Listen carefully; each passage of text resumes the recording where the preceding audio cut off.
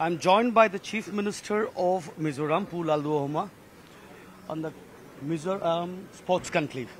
Mizoram thinks what India shall realize in 2036. Mm-hmm. Yeah, that is what we are trying to be. Like uh, this is this is said to be the one one of a kind of an event in the entire country where the state is actually thinking of producing talents for 20, 2036 Yeah. Olympics. Not only the infrastructure but the mentality, the approach, the quality of talent.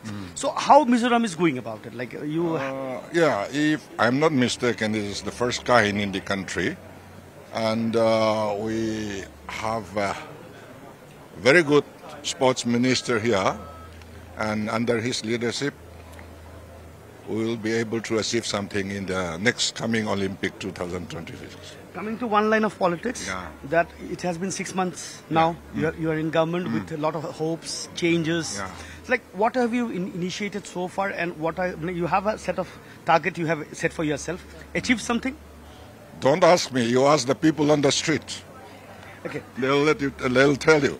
Last single question Yeah. is that your uh, the people are still coming to your refuge from all sides. Yeah. Manipur has been burning once Yes, again. yes, yes. So your uh, take on this entire issue? Uh, they are our brothers and sisters on humanitarian ground. We have to look after them, and uh, we are providing all the necessary things as long as Manipur as continues to burn, sir. Yeah, it's, it's keep on burning, but uh, until and unless the situation um, is normalized, they have to stay with us, and we have to take care of them.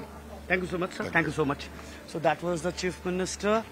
His take on uh, Manipur politics. He says that Manipur, are, the people of Manipur, as long as the situation doesn't turn, turn, uh, doesn't come back to normal, the state of Mizoram shall provide all assistance to all refugees that has come to the state or still is coming to the state. And a proper initiative should be taken to actually solve the issues of Manipur. The uh, chief minister has also said that yes, whatever promises he has made, he has taken good start, and people of Mizoram are here to speak volumes about his work so far in the six months tenure since he took charge as the chief minister of Mizoram. With camera person Sanjay Bora, this is Nilay Bhattacharjee for News 18.